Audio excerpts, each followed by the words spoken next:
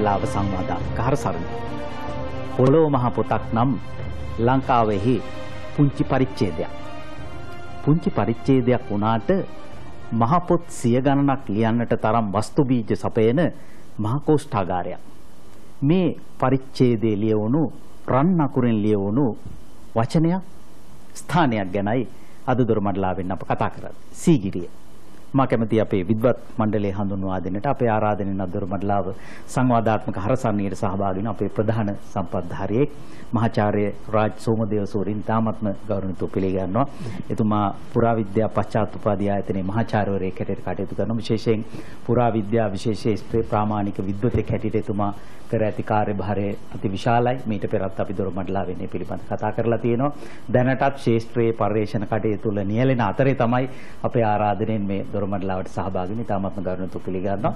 ඒ වගේම අපේ ආරාධනෙන් පළමු වතාවට දොරමඩලාවට සහභාගී වෙන මහාචාර්ය ප්‍රශාන්ත ගුණවර්ධන සූරිනි තාමත්ම ගෞරවණීයව පිළිගන්නවා. එතුමා කැලණි විශ්වවිද්‍යාලයේ පුරාවිද්‍යා අධ්‍යනාංශයේ මහාචාර්යවරයෙක් හැටියට කටයුතු කරනවා.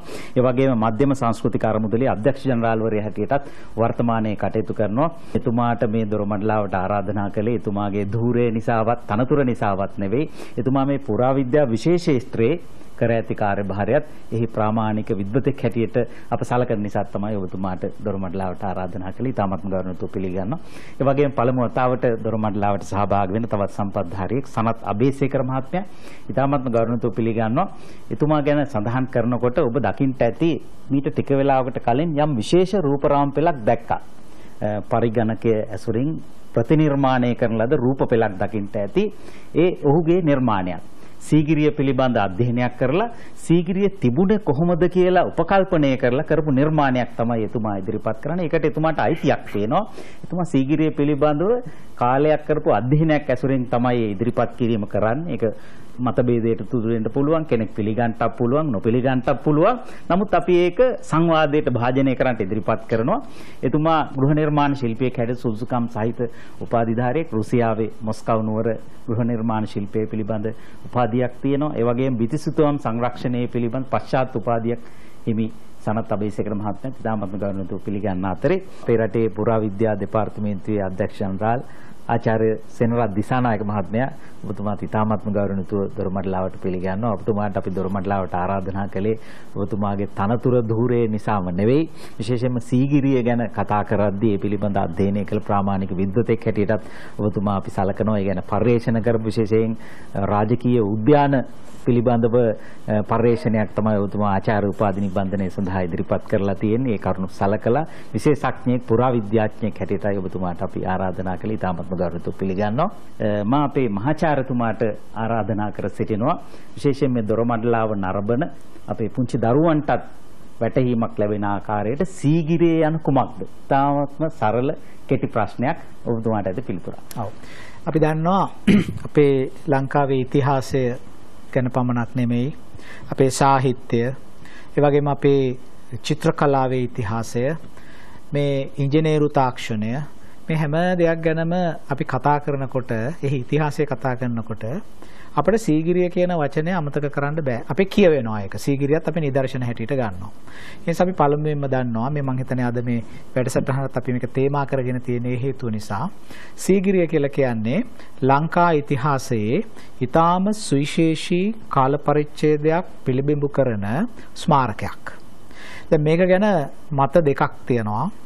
අපි කලින් විශ්වාස කරා අපි කලින් ඉගෙන ගත්තා තේරුම් ගත්තා සීගිරිය බලකොටුවක් කියලා. ඒතර සාමාන්‍යයෙන් හැම දිනෙකම අද අපි දරුවෙක්ගෙන් ඇහුවොත් සීගිරිය මොකක්ද කියලා සීගිරිය බලකොටුවක් කියලා කියනවා.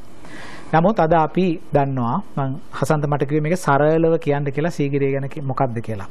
සීගිරිය බලකොටුවක් කියන අදහස දැන් වෙනස් වෙලා හොඳයි බලකොටුවක් කියලා හිතුවත් කමක් නැහැ. අද අපි සීගිරිය දකින්නේ ක්‍රිස්තු වර්ෂයෙන් පස්වන සියවසේ මීට අවුරුදු 1500කට පමණ එපිට කාලයකදී මේ රටේ ගොඩනගපු ඊටාම විශිෂ්ට රාජකීය නාගරික සැලැස්මක් හැටියට තමයි අද අපි සීගිරිය හඳුනාගෙන තිබෙන්නේ. ඉතින් අපි දන්නවා නගරයක් කියලා කියන්නේ පුරාණ කාලේ රටේ පාලකයා ජීවත් වෙන්නේ නගරේ. එතකොට රටේ පාලකයා රජු ජීවත් වෙන තැන අනිවාර්යයෙන්ම බලකොටුවක්. මොකද අපි දන්නවා ආරක්ෂක සංවිධාන තියෙනවා, පවුරු තියෙනවා, දියාගල් තියෙනවා. ඒ පාලකයාගේ ආරක්ෂාව තියෙනවා. ඒ නිසා සීගිරිය බලකොටුවක් හැටියට කල්පනා කිරීමේ වරදක් නැහැ. නමුත් අපිට ඊට වඩා විද්‍යාත්මකව සහ පළල්ව ඒකේ තියෙන වාස්තු විද්‍යාත්මක ලක්ෂණ මම හිතන්නේ සනත් කතා කරනවා ඉදිරියේදී ඒක ගැන. ඒවා සලකා බැලුවට පස්සේ ඒකේ තියෙන වෙනත් මම ඉස්සෙල්ලා මතක් කරා වගේ ඉංජිනේරු තාක්ෂණය, කලාව, සාහිත්‍යය, ඔය කැටපත් පවුරේ තියෙන අපි ඉදිරියේදී ඒවා සාකච්ඡා කරන්න බලාපොරොත්තු වෙනවා. මේවා ඔක්කොම ගත්තාම සීගිරිය ශ්‍රී ලංකාවේ පැරණි නගරයක් පිළිබඳව ඉතාම වටිනා සහ හොඳින් ආරක්ෂා වී තිබෙන නාගරික සැලැස්මක්. මේකේ තියෙන අනිත් වැදගත්කම තමයි ලෝකේ පරණ නාගරික සැලසුම් තිබෙනවා. උද්‍යාන සැලසුම් තිබෙනවා. නමුත් ඒවා කාලයෙන් කාලයට නවීකරණය වුණා. නමුත් සීගිරියේ තිබෙන සුවිශේෂීතාව තමයි වැදගත්කම තමයි කාශ්‍යප රජතුමා පළමු වන කාශ්‍යප රජතුමා ක්‍රිස්තු වර්ෂයෙන් 477 495 අතර කාලේ පාලනය අරගෙන ගිය අවුරුදු 18ක් ඒ අවුරුදු 18 ඇතුළත එතුමා විසින් ඉදි කරපු ඒ මූලික සැලැස්ම ඒ උද්‍යානයේ එතුමාගෙන් සීගිරිය අයින් අතහැරුණාට පස්සේ වැළලිලා ගිහිල්ලා එහෙමම යට වුණා ඒක 19 වෙනි සතවර්ෂයේ නැවත මතු කරගන්න තුරු. ඒ නිසා ඒ කියන්නේ මීට අවුරුදු 1500කට කලින් වැළලිලා ගිය දෙයක් අපි 19 වෙනි සත වර්ෂයේදී අර පියනක් අරිනවා වගේ නැවත ඇරියා.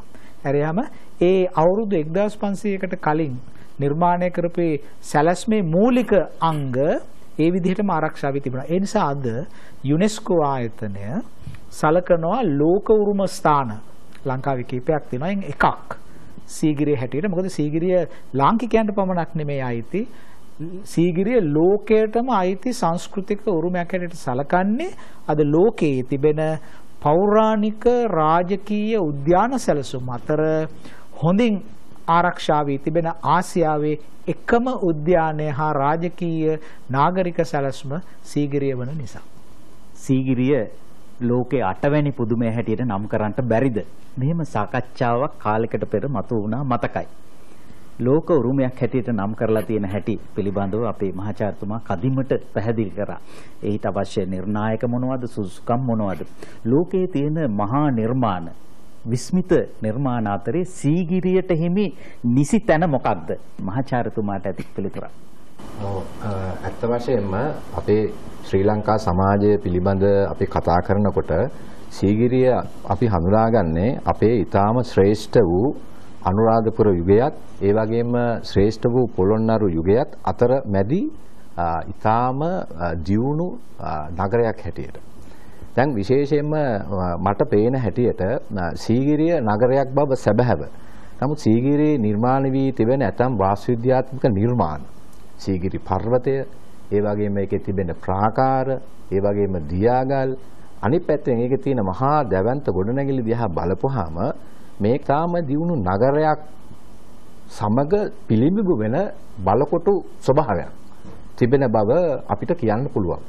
විශේෂයෙන්ම අපි බැලුවොත් ඓතිහාසික ලියවිලි තොරතුරු අනුව වුණත් ඒ වගේම අපේ රාජ්‍ය පාලන ඉතිහාසය තුල මතු විවිධාකාර කැරලි ගැටුම් අනුව වුවත් රාජ්‍ය පාලනය සංවිධානය සහ ඒ ඒ වැනි කටයුතු කිරීමේදී රාජ්‍ය පාලකයා නිතරම තමන්ගේ බලය සංවිධානය කිරීම තමන්ගේ බලය ආරක්ෂා කිරීම කියන ව්‍යාපෘතිය සංවිධානය කිරීමේදී යම්කිසි ආකාරයක තමන්ගේ නගරය සඳහා ආරක්ෂක බලකොටු පෙනුමක් දුන්න නිසා මේක නගරයක් තුල තිබෙන බලකොටුවක් හැටියට අපිට සලකන්න පුළුවන්. විශේෂයෙන්ම පහුගිය කාලේ කරපු හුඟක් පරිේෂණ තුල මේ නගරය කියන කාරණය තහවුරු වෙලා තිබෙනවා. රජතුමා ජීවත් වූ නගරයක් තිබෙනවා. ඒ වගේම එවැනි නගරයක ජීවත් වූ තවත් වින්න මහජනතාව ජීවත් වූ ප්‍රදේශ ඊටාම පැහැදිලිව විශේෂයෙන්ම රාජ්‍යතුමා නායකත්වයේ දුන්න ඒ වගේ පරිශ්‍රණ තුල සීගිරි යවට හඳුනාගෙන තිබෙනවා. ඉතින් ඒ නිසා අපිට කියන්න පුළුවන්කම තිබෙනවා සීගිරිය ඇත්ත වශයෙන්ම නගරයක් නගරය තුල පිළිබිඹු කරන බලකොටුවක් සහිත මහා දැවැන්ත අපේ ශ්‍රේෂ්ඨ වටිනාකමක් තිබෙන ස්ථානයක් කියලා. මොකද අපේ ඉතිහාස කාල පරිච්ඡේදය තුල අපි දකින්නේ ඇත්ත වශයෙන්ම අපේ අපි ජීවත් වෙන්නේ බෞද්ධ සමාජයක ඉතිහාසයක් තුල.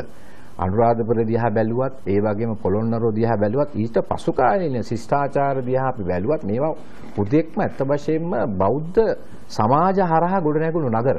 නමුත් සීගිරිය ඇත්ත වශයෙන්ම ලෞකිකත්වය, సౌందර්යවාදය, ලාලිත්‍ය, කලාව මුසු කරගත්ත නගරයක් නිසා මා හිතනවා සීගිරිය ශ්‍රී ලාංකික සමාජය තුල පමණක් නෙවෙයි ලෝක සමාජය තුල උනත් මේ නගරය තුල තිබෙන විශිෂ්ට භාවය ඉතාම වැදගත්. ඒ නිසාම තමයි මේක ලෝකුරුමයක් හැටියට සලකලා මුළු ලෝකයේම විසින් ආරක්ෂා කළ යුතු ස්ථානයක් හැටියට යුනෙස්කෝ සංවිධානය නම් කරලා තිබෙනවා.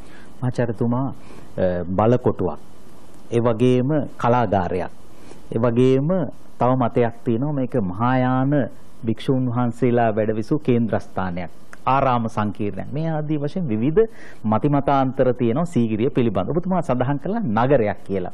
එක මතයක් තියෙනවා කාශ්‍යප රජතුමා අනුරාධපුරයේ රාජධානිය කරගෙන රජකම් කරන අතරේ විටින් විට ආගිය තැනක් හැටියට මේ සීගිරිය හඳුන්වන විද්වතුන් පිරිසක් ඉන්නවා. විටින් විට නිකන් සතියකට දෙකකට සැරයක් වගේ විනෝදෙට වගේ ඇවිල්ලා ගිය තැනක් හැටියට ගොඩනැංවුවායි කියලා. ඒ මතය පිළිබඳ ඔබතුමාගේ අදහස මොකක්ද? මෙහෙමයි දැන් අපේ සියලුම රාජ්‍යපාලකයෝ අනුරාධපුර යුගය තුල අත්ත වශයෙන්ම කේන්ද්‍ර කරගත්තේ අනුරාධපුර නගරය. ඒකට අනුරාධපුර නගරය තුල රජවරුන්ගේ මාලිගාව ඒ වගේම ඔවුන් ජීවත් වූ ප්‍රධාන නගරය තිබෙනවා. එතකොට දැන් අපේ ඓතිහාසික කරුණු දිහා බැලුවා වුණත් අපිට පේන දේ තමයි කාශ්‍යප රජතුමා අත්ත වශයෙන්ම තමන්ගේ තමන්ගේ බලය තමා සතුව කරගැනීමේ ක්‍රියාවලිය තුළ විශාල සටනක් කරේ අත්ත වශයෙන්ම අනුරාධපුර යුගයේ අනුරාධපුර නගරය තුළ. ධාතුසේන තමන්ගේ පියාගේ ඒ පරිපාලන රාජ්‍ය කාලය තුල තමයි තම ඇත්ත වශයෙන් මේ වගේ කාරණා සිද්ධ වුණේ. එතකොට අපිට ඇත්ත වශයෙන්ම හිතන්න පුළුවන් ඔය සාහිත්‍යය ඒ වගේම වෙනත් මූලික කාරණා තුල මේ මහා දැවැන්ත පර්වතය පිළිබඳව විтин විට ඇවිල්ලා යම් යම් චෝදිසි කිරීම් කරලා ඒකේ පෙරහුරුවක් ලබා ගන්න ඇති කියලා. එහෙම ඒක අපිට පිළිගන්නකම පුළුවන්කම තිබෙන නැත්නම් එකපාරට තමන්ගේ පියාගේ රාජපාලනයෙන් පස්සේ එකපාරට ඇවිල්ලා මෙතන මේ අවුරුදු 18ක් තුළ නගරයක් සූදානම් කරගැනීමේ පසුබිමක් නැහැ. ඒ නිසා අපිට හිතන්න පුළුවන් මූලික සමීක්ෂණ ගවේෂණ ඒ කාල පරිච්ඡේදය තුළම සිදු කරලා Tamanට අවස්ථාව විගස අත්ත වශයෙන්ම සීගිරිය තමන්ගේ රාජ්‍ය පාලන හැටියට තෝරගත්තා කියලා. ඉතින් අතුසේන රජතුමා කියන්නේ ලංකාවේ ඉතිහාසයේ සාමාන්‍ය රජ කෙනෙක් නෙවෙයි. මහා නිර්මාණ කරපු මහා රජ කෙනෙක් තමයි ධාතුසේන රජතුමා. මොකද ඇතම් කරුණු වලින් එළිවෙලා තියෙනවා එතුමාටත් තිබුණායි කියලා මේ පර්වත රාජ්‍යයක් පිළිබඳ සිහිනයක්. ඒ සිහිනය වෙන්න බැරිද ඔය පුතණ්ඩියා ඉෂ්ට කරගත්තේ පස්සේ කාලේ. සමහර විට ඒකත් විය හැකි. කෙසේ වෙතත් දැන් අපිට පේන ආකාරයට මේ පර්වත සම්ප්‍රදාය නැත්තම් සාහිත්‍යයේ වර්ණනා කරන මහා දැවැන්ත උසකින් යුක්ත මේ වගේ මහා විරාජමානව කුවේරෙක් වගේ ඉන්න පුළුවන් තියෙන ඕනෑකම කියන සම්ප්‍රදාය ඇත්ත වශයෙන්ම ආරම්භ වෙන්නේ කාශ්‍යප රජතුමාගේ. ඒතර අපිට පේනවා අපේ දැවැන්ත ශිෂ්ටාචාර පරිණාමය තුළ මේ පර්වත සම්ප්‍රදාය යම්කිසි විදියක ආස්වාදයක් ලැබුවා පසුකාලීන රජවරුන්ට. පසුකාලීන ශිෂ්ටාචාර දිහා අපි බැලුවත් දඹදෙනි යුගය, ඒ වගේම යාපහුව, කුරුණෑගල මේ වගේ මහා දැවැන්ත ශිෂ්ටාචාර තුල යනකොට වුණත් යම්කිසි ආරක පර්වත තුල නගර විහිකිරීමේ සම්ප්‍රදායක් ඇත්ත වශයෙන්ම ඉදිරියට යනවා. ඉතින් මට පේන විදිහට පසුකාලීන මේ යුගවල ජීවත් වී සිටි අපේ රාජ්‍යපාලකයෝ මේ දැවැන්ත සීගිරි පර්වතය හා බැඳුණු ඒ මහා දැවැන්ත නගර සහිත බලකොටු පෙනුම තියෙන හැඩය යම්කිසි විදිහකින් ආස්වාදයක් ලබන්න ඇති. ඒ ආස්වාදය තුළ තමන්ගේ පාලන බලය යම්කිසි විදිහකින් සංවිධානය කරගෙන ඉදිරියට ගියා කියන කාරණය තමයි පුරාවිද්‍යාත්මක වශයෙන් මේ ස්ථානවල නිරීක්ෂණය කිරීමේදී පෙනී යන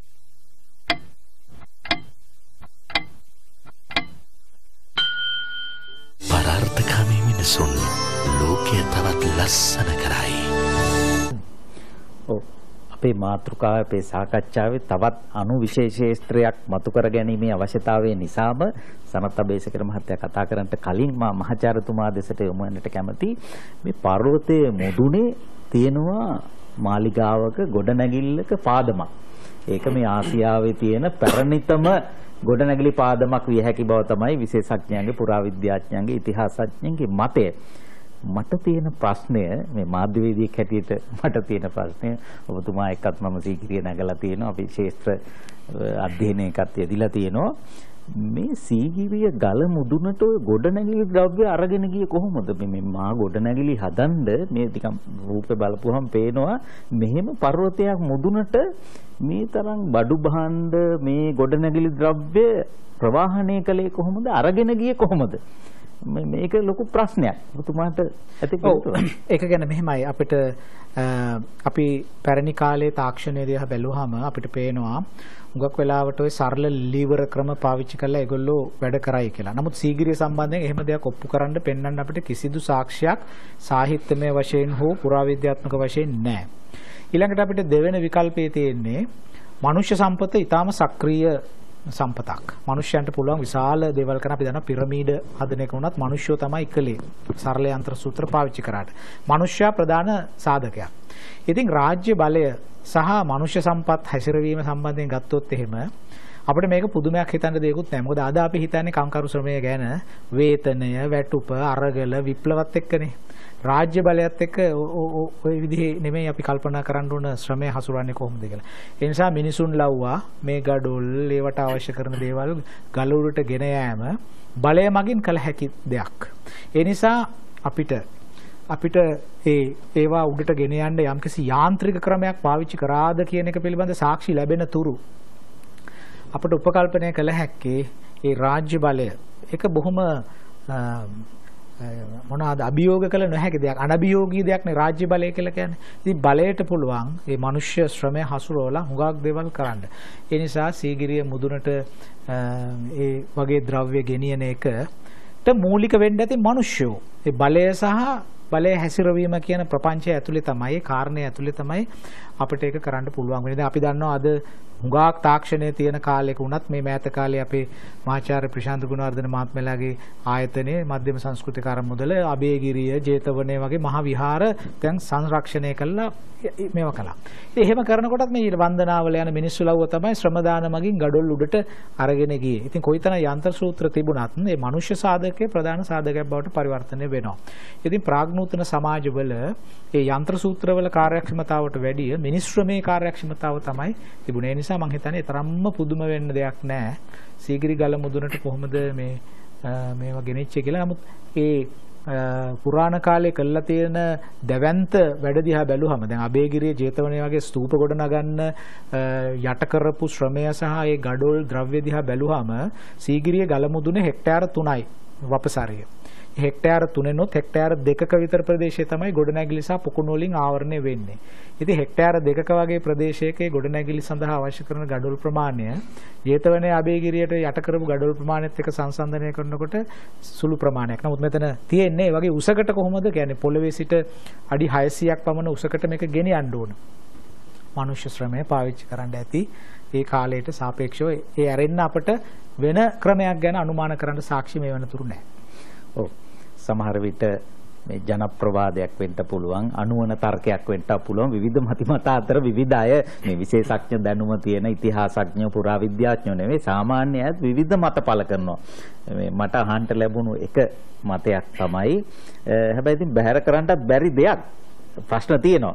එක මතයක් තමයි ඔය සීගිරි පර්වතයයි මහ පොළොවයි අ, පස් වලින් එකට සම්බන්ධ වෙලා තිබුණ අය කලකට පෙර ඉතින් අස්සේකට උනත් උඩට සෑහෙන දුරක් යන්න පුළුවන්කම තිබුණ අය බඩු බහන්න ඒ විදිහට ප්‍ර- ප්‍රවාහනය කළ අය ගොඩනැගිලි ඉදි කළාට පස්සේ ඒ පස් ටික ඉවත් කළා කියලා. එතකොට ඒ පස්කෝ කියලාත් අහන්න පුළුවන් නේ. ඉතින් ඔය වගේ විවිධ හැබැයි ඒවා හරි මේ මේ ආකර්ශනීය කතන්දර.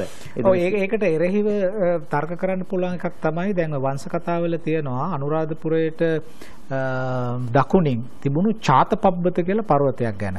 ඒ චාතපබ්බතය අ, තමයි මේ සීගිරිය බවට පස්සේ පරිවර්තන වුණේ කියලා ඇතම් ඉතිහාසඥයෙකුගේ මතයක් තියෙනවා. මොකද වංශ කතාවලට ඒ චාතපබ්බත කියන පර්වතය ගැන සුවිශේෂ වශයෙන් අ, ඇතුල් වෙන්න හේතුව ඒ කාලේ අයගේ අවධානය මේකට යොමු වෙලා තිබුණා. මේක විශේෂ පර්වතයක් කියලා. ඒ නිසායි දැන් ওই අපි දකින පර්වතයේ හැඩයට බොහොම සමානකම් තියෙන හැඩයක් කාශ්‍යප රජුගේ අවධානය මෙතනට යොමු වන වෙලාවෙත් තිබෙන්න ඇති. දැන් අපි ඔතනදී අර කලින් අපේ මහාචාර්ය ගුණවර්ධන කතා කරපු වෙලාවෙත් කිව්ව දේ තමයි ඒ කාශ්‍යප රජතුමා එතනට ඒම හසන්තත් අහු ප්‍රශ්න තමයි අනුරාධපුරයේ ඉඳලා මේ මෙහෙට ආවද කියලා. නමුත් අපිට පේනවා අපි අවධානය යොමු කරන්නේ නැති කාරණයක් තියෙනවා. සීගිරියට දකුණු පැත්තෙන් තිබෙනවා මාපාගල කියන සංකීර්ණය. විශාල ගල් පර්වත තියෙන තැනක්. ඒකේ විශාල ගල් බැමි බැඳලා තියෙනවා. ඒතර මාපා කියලා කියන්නේ මහා ආදිපාද කියන එක. මහපා කියන එක.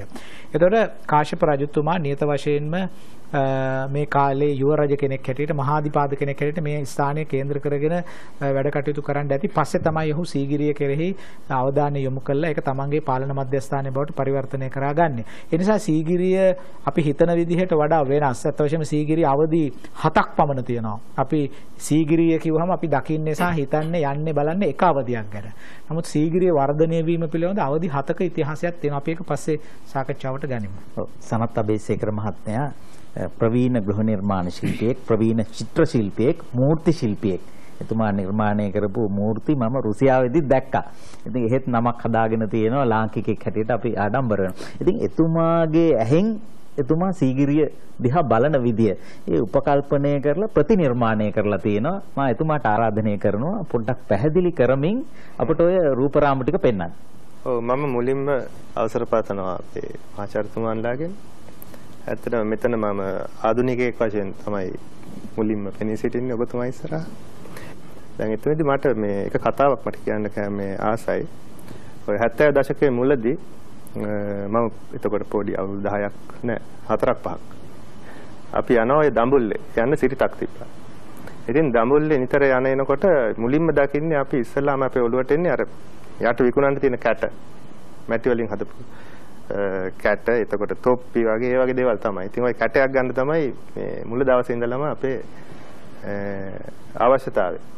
ඉතින් අපි මේ මේ දඹුල්ලට නැගලා ওই චිත්‍ර ගැන අපිට ඉතින් මේ කියලා දෙනවා අපේ යන වැඩිහිටි අය. ඉතින් ඔය දවසක් කොහොම හරි අපිට ඔය කැටයක් ගන්න අපිට අරන් දුන්නා. ඉතින් ඔය ගෙදර ගෙනල්ලා ඔය මේ සල්ලි දාන දාන ගානට මට හිතෙන්නේ මේ කැටේ කඩන්න. මොකද මට හිතෙනවා මේ කැටේ ඇතුළෙත් මේ ඇති කියලා විචසිතුවම්. කැටේ ඇතුළ පෘෂ්ඨේ. නිතර අපි දඹුල්ලට ගියා. ඒ අතරතුරේදී කීප පාරක් අපිට යන්න හම්බුණා සීගිරිය. මොකද සීගිරිය එතකොට හරි මේ ඔය හබරන කැලේ තිබ්බ උතන හබරන හන්දියේ ඒ වචනෙනුත් ටිකක් අපි බය වෙනවා පොඩි කාලේ හබරන. ඊට පස්සේ සීගිරිය. ඒ වගේ ඒ වචනවලම තියෙනවා ඒ 아무තු අద్භූත බවක්. සහ හරි කුතුහලයක් දනවන නම්ගම්. ඉතින් ඔතන ආලි වැගෑවසෙනවා හැන්දයි පහෙන් පස්සේ යන්න බෑ ආයෙ එන්න බෑ. ඉතින් ඔය උදේවරුවක තමයි බොහෝ විට අපි ඉස්සල්ලාම සීගිරිය නගලා තමයි ආයෙ එන්නේ. ඉතින් සීගිරි ගලේ නගිනකොට මේ මේ ගල උඩට යන මාර්ගයේ ඉඳන් බිම ඉඳන් අර මේ අපි කියමු වතුර මල් තියෙන ඒ වතුර මලේ දවසට මම හිතන්නේ පිළිසකර කරලා තිබෙන්නේ නමුත් ඒ ජල උද්‍යානයේ හරහා යනකොට ඒ හැම විටම අපිට ඔළුවට එන්නේ රජතුමා කොහොමද මෙතන හැසිරුණ විදිහ. රජතුමා සමහරට මේ බංකුවේ ඉඳගෙන ඉන්න ඇති. මෙතන මේ විදිහට මේ නාන්න ඇති. ඊළඟට අර උඩට යනකොට තියෙන මේ ආසනයන් ගල් වලින්ම නිම කරපු ආසනයන් ඒ ලෙනවල් ඊළඟට සිංහ කට ළඟට ගියාම තියෙන මේ ඇති වෙන හැඟීම තව භයංකර හැඟීමක් ඒක හරියට ඒක මේ ස්ටේජ් එකකට අපි එනවා වගේනේ ඊට පස්සේ අනිත් එක තව හුස්මක් ඒක මහා හුස්මක් ආයේ මේ එතනින් උඩට යනවද නැද්ද ඉතින් ඇත්තටම මම මේක කිව්වේ අපි සීගිරිය ගැන බොහෝ සංකීර්ණ සහ මේ මේ වගේ විශිෂ්ට නිර්මාණයක් වුණත් අපි අධ්‍යයනය කිරීමට පටන් ගන්න ගත යුත්තේ පොඩි ළමයෙක්ගේ තියෙන විවෘත මානසිකත්වයකින්. මොකද එතකොට තමයි අපේ ඇතුලෙන් එන අදහස් උදහස් පිටින් තියෙන අදහස් වලට ගැටිලා යට නොයන්නේ. චිත්‍ර ශිල්පියෙක් වශයෙන් උත් මේ මූර්ති ශිල්පියෙක් වශයෙන් සහ ගෘහ නිර්මාණ ශිල්පියෙක් වශයෙන් මට පුළුවන් රොමැන්ටිසම් මේකට එකතු කරන්න. මේක ඉතිහාසඥයෙක් විතරක් හැටියටවත් මූර්ති ශිල්පියෙක් විතරක් හැටියටවත් ගෘහ නිර්මාණ ශිල්පියෙක් විතරක් වශයෙන්වත් චිත්‍ර ශිල්පියෙක් විතරක් හැටියට විතරක්වත් බලන්න බෑ. මේක අපි එකවර බලන්න ඕනේ මේ හැම කෝණයෙන්ම. මේක ඇත්තටම මේ මේ මොකද මේ සීගිරිය සංකීර්ණය ඒක මහා ලොකු කලා සංකීර්ණයක්. ඒකේ හැමදේම ගැබ්බෙලා තියෙනවා. දැන් ඔය පස්වෙනි මේ ශතවර්ෂය එනකොට අපේ බුද්ධ ආගමෙන් පෝෂණය වුණේ ඒ විවෘත මානසිකත්වය. ඊළඟට කලාවට ඒ විවෘත මානසිකත්වයේ බලපාපු හැටි. ඒ ඔක්කොගෙම පීක් එක කියන්නේ උච්චම අවස්ථාවට තමයි ඇවිල්ලා හිටියේ ඔය සීගිරිය නිර්මාණය වෙනකොට. දැන් ඒ හැම දේවල් මේ විවෘත මානසිකත්වය සීගිරි චිත්‍ර වලින් පවා පිළිබිඹු වෙනවා. විශිෂ්ට කලා නිර්මාණයක් ගත්තාම විශේෂයෙන්ම සමමිතික නොවන දැන් අපි කියමු බිල්ඩිමක් ගත්තොත් බොහෝ විට සමමිතික විදිහට නිර්මාණය කරන්නේ. එහෙම නැති ඕනෙම නිර්මාණයක් ගත්තම ඒ ඕනෙම නිර්මාණයක තියෙන මේ ඩොමිනන්ට් ෆීචර් කියලා එකක්. ඩොමිනන්ට් ෆීචර් කියන්නේ අතනම ප්‍රමුඛ ප්‍රමුඛතාවය ගන්න අවයවයක්. ප්‍රමුඛතාවය ගන්න මේ කොටසක් තියෙනවා මේ ඕනෙම සංකීර්ණයක සහ කම්පොසිෂන් එක. ඒ මත තමයි ඒ වටා තමයි අනිත් මේ ෆීචර්ස් මේ ඩෙවලොප් වෙලා තියෙන්නේ. දැන් මේ මේක මම ඔය මේ මේ Google Earth කියන මේ සැටලයිට් පින්තූරයක්. ඇත්තටම ඒක මමත් පුදුමයටපත් වුණා. සීගිරිය කියන්නේ ලංකාවේ ජ්‍යාමිතික කේන්ද්‍රය. කියන්නේ හරියට මෙහෙම කොටුවක් ඇඳලා මේ හරියට මේ ඒක සමව බෙදුවොත් ඒ ලක්ෂ්‍යය ඉන්නේ සීගිරියට. ආසන්න වශයෙන්. ආසන්න වශයෙන්. කියන්නේ හැබැයි බොහෝ මේ මේ කිට්ටු වශයෙන්. ඔක නාලන්දාගේ දිගේ කියලා සමහරු කියනවා. නමුත් මේක හැබැයි මං කියන්නේ ග්‍රැවිටිකලි මධ්‍ය ලක්ෂ්‍ය නෙවෙයි. කියන්නේ මොකද අපේ කඳු තියනවා කියන්නේ බර අණුව නෙවෙයි. කියන්නේ ජ්‍යාමිතික අණුව. ජ්‍යාමිතිකත්වය යන්නේ. ඊළඟට සීගිරිය කොම්ප්ලෙක්ස් එක ගත්තොත් සීගිරිය නගරය ගත්තොත් නගරෙත් මේ මේ හරි මැද තමයි ඔය ගල පිටලා තියෙන්නේ. දැන් අපි ඒ උඩින් ගත්තොත්නේ සිරස්ව ගත්තත් එන ස්ථානයක් තියෙනවා දැන් ගල හරි මේ මැදින් වගේ බෙදුවොත් ඒ මැද තමයි පිහිල්ලා තියෙන්නේ ඔය මේ සිංහපාද මළුව. දීර්ඝ කාලීන අධ්‍යයනයකින් මට මේ තේරුණා මෙතන මේ ප්‍රධාන අංගය තමයි සිංහ රූපය කියන එක. සිංහ රූපය වටා තමයි මේ ඔක්කොම ගොඩ ගැහිලා තියෙන්නේ කියලා. ඒක හරියට අර ඉස්සර වහලක් හදලා අර මේ එක කුණ්‍යක් ගහනවා කියන්නේ අර බාසුන් නැහැ ඒක ගලවපු ගමන් ඔක්කොම කඩා වැටෙන.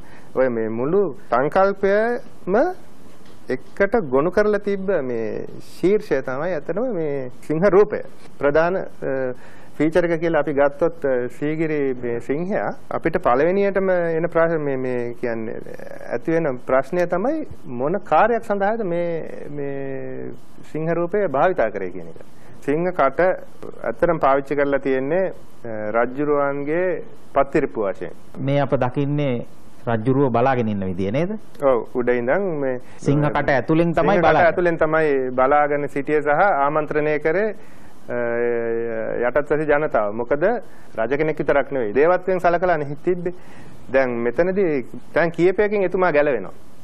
එකක් තමන්ගේ ගැඹීරත්වය සහ මේ තේජවන්ත භාවය පිළිඹු කරනවා. දැන් මේ වගේ ප්‍රචාරයක් යවලා කුවේර හෝ දෙවියන්ටත් වඩා උඩින් තමා හිතාගෙන හිටියේ. කියන්නේ එතකොට දැන් පුද්ගලයාට ඇවිල්ලා ඒ වගේ ප්‍රචාරයකට ඇවිල්ලා මේ බලන්න ආවට පස්සේ එතුමාව මේ ස්පර්ශ කරන්න අවස්ථාව ලැබුණොත් ඒ තිබ්බ ඔක්කොම අපි කියන්නේ Taman මේ අර හදාගෙන තිබ්බ ප්‍රතිරූපය සම්පූර්ණයෙන් බිඳ වැටෙනවා ඒ වගේ දෙයකින්. මේ අපි උපකල්පනය කරොත් සිංහ රූප සිංහ කට ඇතුලෙන් සිංහ හනු ඇතුලෙන් කොහොමද දෘශ්‍යමාන වුණේ කියලා මේ මේ එදා තිබුණ විදිය. ඔව් එදා තිබ්බ විදිය උපකල්පනයක්. ඔබ නිර්මාණය කරන විදිය. දැන් මෙතන ජීවමානව සමාජයට ඉන්න ඇති සීගරේ අප්සරාවන්. මේ මේ සීගරේ චිත්‍ර තියෙන තැන ඔය උදේ 6ට විතර වගේ 7ට විතර වගේ කියන්නේ මේ මේ වෙලාව අනුව ඔබේ අධ්‍යයනය ඇසුරින් මේ ඔබ ප්‍රතිනිර්මාණය කරනවා සීගිරිය මේ විදිහට තියෙන්න ඇති කියලා. මේක මතභේදයට තුඩු දෙන්න පුළුවන් කෙනෙක් පිළිගන්නත් පුළුවන් නොපිළිගන්නත් පුළුවන්. නමුත් ඔහු ගෘහ නිර්මාණ ශිල්පියෙක් හැටියට චිත්‍ර ශිල්පියෙක් හැටියට ඔහුගේ ඇහෙන් බලලා තමයි මේ සීගිරිය මේ විදිහට තියෙන්න ඇති කියලා බොහොම ආකර්ශනීය ඉදිරිපත් කිරීමක්. අද අපිට නිකන් හිතලා බලපුවාම මෙච්චර පැරණි කාලේ මෙහෙම දෙයක් කොහොමද තිබුණේ කියලා හිතනකොට ඒකත් අද විස්මයජනක හැඟීමක් අපේ හිතට එනවා. මම හිතනවා ඔබේ ඉදිරිපත් කිරීම වැදගත් වෙන්නේ නිසා. ආචාර්යතුමනි මේ සීගිරිය කියන ලෝක උරුමය ලෝකයේ විශිෂ්ට නිර්මාණය පිළිබඳ විදේශිකයන් පුදුමයටපත් වෙනවා. මේ අද ඊයේ නෙවෙයි සියවස් ගණනාවකට පෙර 6 වෙනි 7 වෙනි සියවස් වල පවා ওই චීන ජාතිකයෝ එහෙම ඇවිල්ලා පුදුමයටපත් වෙලා තියෙනවා මහා කැලේ මැද තියෙන මේ විස්මිත නිර්මාණය මොකද්ද කියලා. ඉතින් ලෝකයේම පුදුමයටපත් වෙන නිර්මාණයක්. නමුත් මේ නිර්මාණයේ ඉතිහාස කතාව අපි මේ හාරගෙන අවුස්සගෙන ඇදගෙන නව පරපුරට ප්‍රදානය කරන්නට අධ්‍යාපනික අවශ්‍යතාවයක් හැටියට මේ නැවත මතු කරලා කතා කරන වැඩසටහනක් නෙමේක. මේක බලකොටුවක්ද මේක රාජධානියක්ද මේක කලාගාරයක්ද නැත්නම් මේක විනෝද උද්‍යානයක්ද? ඔබතුමාට ඇති පිළිතුරක්. මම හිතන්නේ මේ අදහස් ගොඩක් සංකලනය කියලා කිව්වොත් මම හිතන්නේ වඩා නෙවෙයි මොකද අ, මේක එක පැත්තකින් අ, අ, විනෝදාශ්‍රය ලබන්නට අ, බොහොම ඒ ඒ අදහස පෙරදරි කරගෙන හදපු අ, අංග ගණනාවක් තිබෙනවා. ඒ වගේම මහාචාර්ය පරිණිතාන කියන වගේ අර කාශ්‍යපගේ දේවත්ව සංකල්ප ඉස්මතු කිරීම සඳහා පර්වතයක් තෝරා ගැනීම කියන අදහස අපි ඒ අදහස දෙස නැඹුරු වෙනවා නම් මෙතන වෙන දේවත්වයේ පිළිබඳ අදහසක් මතුවෙනවා. කුවේරගේ ආලක මන්දාව වැනි ස්වභාවයක් කියලා ස්වභාවයක්. අනිත් පැත්තෙන් ගත්තාම ආරක්ෂාවත් අපිට මේක ආරක්ෂාවෙන් තොරයි කියන්න අමාරුයි. මොකද ආරක්ෂක නගරයකට අවශ්‍ය දියාගල් ඒ වගේම ප්‍රාකාර වගේ දේවල් තිබෙනවා මම හිතන්නේ මේ සීගිරිය අපිට ප්‍රධාන වශයෙන් කොටස් පහකට බෙදන්න පුළුවන්. එකක් අ, සීගිරිය පර්වතය සහ අ, රජමාලිගය. අ, ඊට පිටින් තිබෙනවා ප්‍රාකාරයකින් පරික්ෂිප්ත වුණු අ, ඇතුල් නගරය. ඇතුල් නගරයට පිටින් එක පැත්තකින් බටහිර පැත්තෙන් තිබෙනවා රාජකීය උද්‍යානය. අ, නැගින්ට පැත්තෙන් තිබෙනවා අ, පිටත නගරය සහ අ, වැව. මේවා බොහොම බොහොම අ,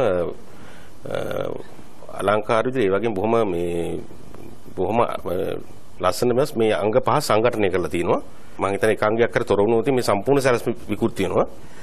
අ, උද්‍යාන ගැන කතා කළොත් අපි දන්න උද්‍යානයක් අ, උද්‍යාන අපේ ර- ර- ලංකාවේ රාජකීය උද්‍යාන ප්‍රධාන වශයෙන් කැපිපෙන උද්‍යාන අ, දෙකක් තියෙනවා කියන්න පුළුවන්. එකක් අ, අනුරාධපුරයේ තිබෙන රන්මත් උද්‍යානය ඒ වගේම සීගිරියේ රාජකීය උද්‍යානය. තව පොළොන්නරුවේ උද්‍යාන දෙකක් ගැන සඳහන් වෙනවා නමුත් සැලැස්ම පැත්තෙන් ගත්තාම සීගිරිය උද්‍යානයේ සහ රන්මත් උද්‍යානයේ තරම් ඒවා කැපිපෙනවා කියන්න අමාරුයි. අපි උද්‍යාන පිළිබඳ අදහස මුල මුලට ගියොත් මම කියන්නේ සීගිරියෙන් බැහැරට ගියොත් මුලින්ම රජුර අපේ ජාතක සාහිත්‍යයෙන් පේනවා. ඒ වගේම ඉන්දීය අ, පුරාණ සාහිත්‍ය කෘති වල පේනවා.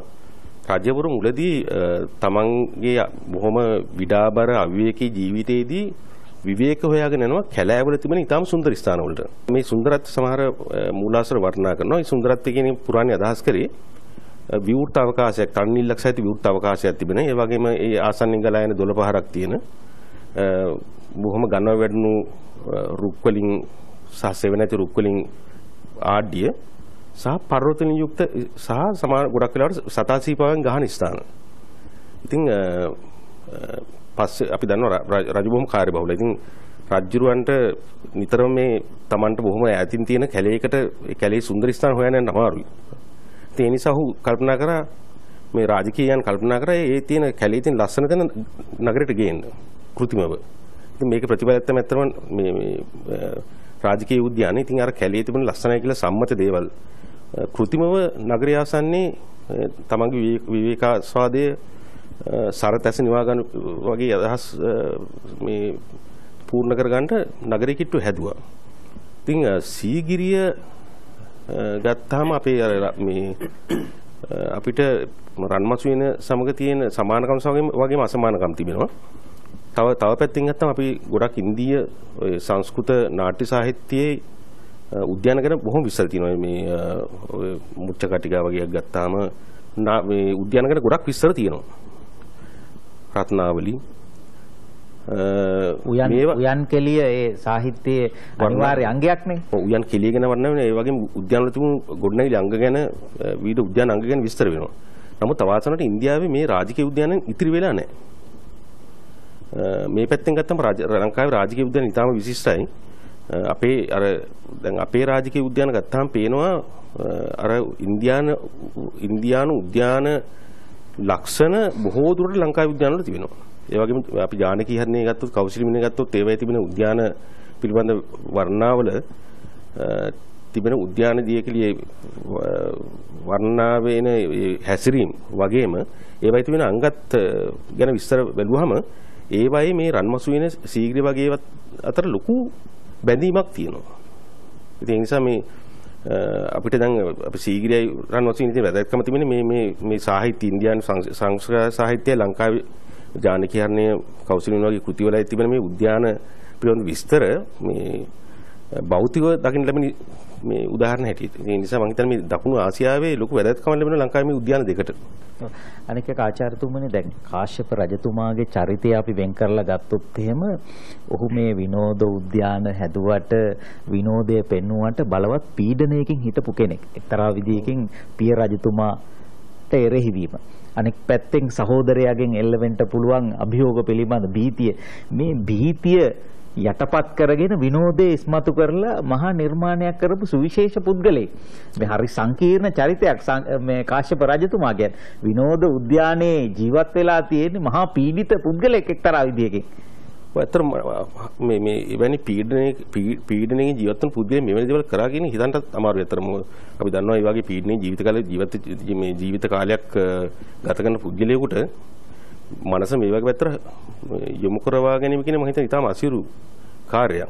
කොහොමවත් මේ මේ අනිත් එක සීගිරිය වසන්ත මහත්තයා කිව්වා වගේ ඒ සීගිරිය හැම අංගයකම පේ- පේනවා මත- හැබැයි මතුවෙන දේ තමයි මේ ඔහුගේ තිබුණු කලාවට තිබුණු නැඹුරුව සෞන්දර්ය කෙරේ තිබුණු ඇල්ම මේ හැම එකම මතුවලා පේනවා දැන් සීගිරි ගී ගත්තත් මේ සීගිරි කටවප් පොර ගත්තත් සීගිරි බිසිතුම් ගත්තත් මේ සීගිරි උද්‍යානයේ සහ රජ පර්වතයේ උඩ තියෙන රජමාලිගාව ගත්තත් මේ සමස්ත සීගිරි නගරයේ සැලැස්ම ගත්තත් මේ හැම එකම හුදෙක්ම වාස්තු විද්‍යාත්මක නිර්මාණයක් නෙවෙයි. කලාත්මක පැත්ත ගැන අපි මේ, අපි දැන් ඔය පස්සේ කාලේ අනුරාධපුර නටමු වලින් පොළොන්නරු නටමු වලින් දකින අර මේ හැම හැම අංගයක්ම මේ නොඑක් සැරසිලුවෙන් සරසනවා කියන අදහස ඉගිරි නෑ. නමුත් මේවා සංවිධානය කරලා තියෙන ආකාරය මම හිතන්නේ ඊටාම කලාවට බොහොම නැඹුරුවක් තිබෙන පුද්ගලයෙක්ගේ නිර්මාණ. අ, ඉතින් සීගිරියේ තියෙන අනිත් උද්‍යානයේ පැත්තට ගත්තාම තියෙන අනිත් වැදගත් කාරණේ තමයි මේක ජ්‍යාමිතික කානුකුල සම්මිතික සැලැස්මක්. අපි අ, බටහිර දොරටුවේ ඉඳන් අ, සීගිරි පර්වතය පැත්තට යනකොට ඒ අපේ දකුණු අත පැත්තේ තිබෙන අ, උද්‍යානංග ඒ ආකාරයෙන්ම අනිත් පැත්තේ තියෙනවා.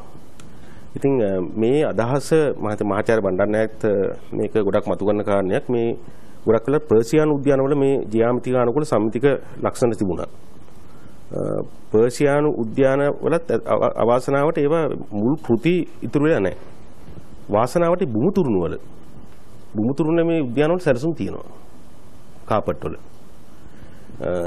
අ, නමුත් මේ අදහස මේ පර්සියානු මූලා මූලාශ්‍රයන් ආශ්‍රයෙන් මුරදර ශාස්ත්‍රයෙන් පස්සේ කාලේ 16 වෙනි සියවසේ 15 වෙනි සියවසේ මෝගල් උද්‍යාන ඉන්දියාවේ මෝගල් උද්‍යාන වල ලාල් බාග් ශාලිමා බාග් වගේ මෝගල් උද්‍යාන අර මේ සීගිරිය වගේම ජ්‍යාමිතික අනුකූල සම්මිතික සැලැස්මකට නිර්මාණය කරනවා. ඉතින් මේ මේ අ, සීගිරියට බොහොම ළඟින් අපිට සමාන කරන්න පුළුවන් ජාත්‍යන්තර ආදර්ශයට අපි සලකන්න පුළුවන් ඇත්තම ඔය මෝගල් උද්‍යාන.